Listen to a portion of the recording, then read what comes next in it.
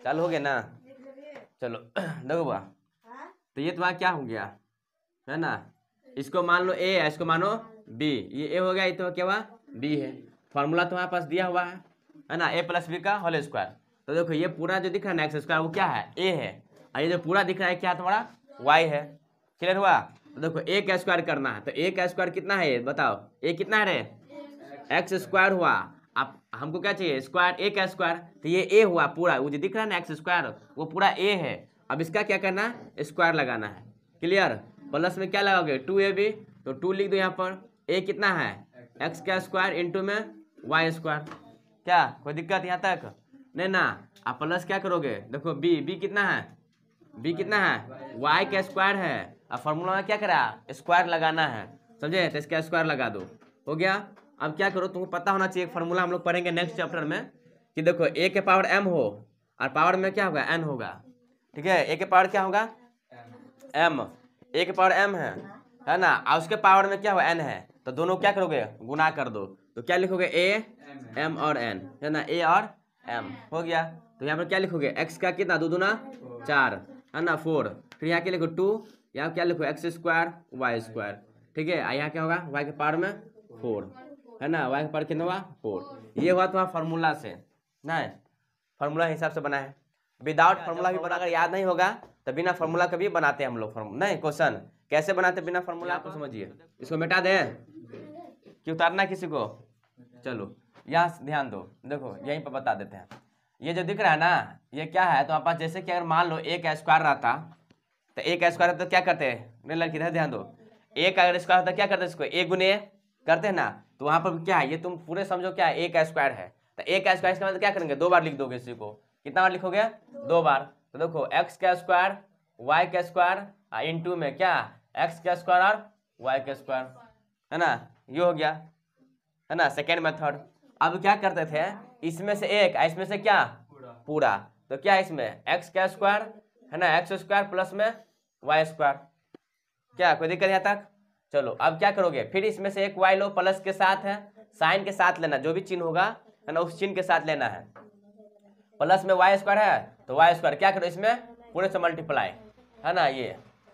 किसी का मन होगा कि नहीं, हम ऐसे नहीं करें, पहले एक्स स्क्वायर ले, फिर ये ले, फिर ये ले, फिर बात बराबर है है ना, किधर से भी गुना कर सकते कोई दिक्कत नहीं, हम पहले बता दिए हैं कि गुना आप जैसे मन वैसे कर सकते हैं। किसी को दो, तीन, चार है मल्टीप्लाई करना, दो, तीन, चार और कोई आदमी चार, तीन, दो दे दे तो क्या हो गया? आंसर तो सेम में ना आएगा, है ना? इसलिए कोई दिक्कत नहीं।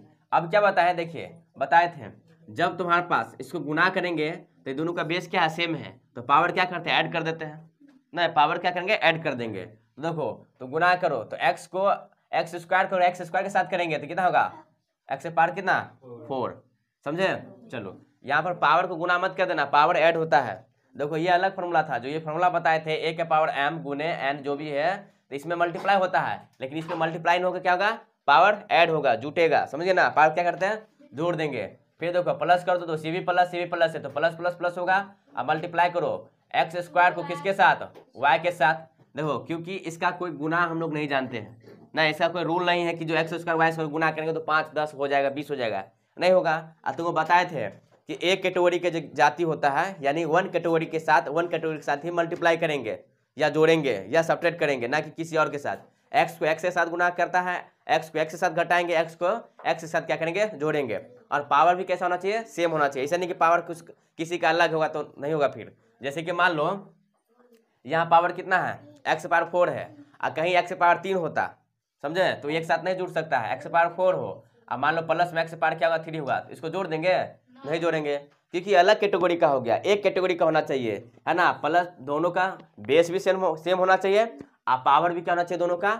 सेम होना चाहिए। तब जाके क्या करेंगे उसको? जोड़ेंगे। नहीं तो नहीं जोड़ सकते हैं। समझे? गुना में आप गुना कर सकते हैं। है ना? गुना में कर सकते हैं। कोई दिक्कत नहीं, गुना करो तो हो जाएगा। लेकिन जब गुना करेंगे तो कैटेगरी जो होगा, जो तुम्हारे पास वेरिएबल होगा तो वेरिएबल सेम होना चाहिए। तब गुना होता है। जैसे यहाँ पर वाई रख देंगे तो फिर गुना नहीं होगा। समझे ना?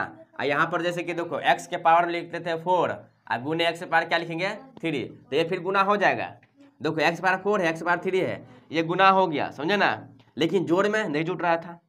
नहीं, जोड़ में नहीं जुटेगा, लेकिन गुना में हो रहा है, समझे? तो याद रखना कि हमेशा, देखो मल्टीप्लाई का अलग रूल होता है है ना? एडिशन का अलग रूल होता है, और सब्ट्रैक्शन का अलग रूल होता है। तो एडिशन सब्ट्रैक्शन आपका सेम होगा, कोई दिक्कत नहीं होगा। लेकिन मल्टीप्लाई या डिवाइड में क्या होगा?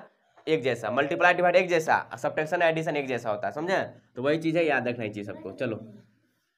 तो हो ना गया तो इस तो इसीलिए क्या होगा दोनों अलग अलग वेरिएबल है, इसलिए गुना नहीं हुआ इसका, समझे ना? चलो, अब यहाँ पर आ जाओ, ये भी दोनों अलग अलग है ना?